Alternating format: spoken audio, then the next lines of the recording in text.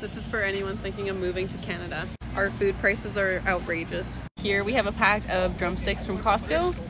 $202 for this pack or 224 for this one.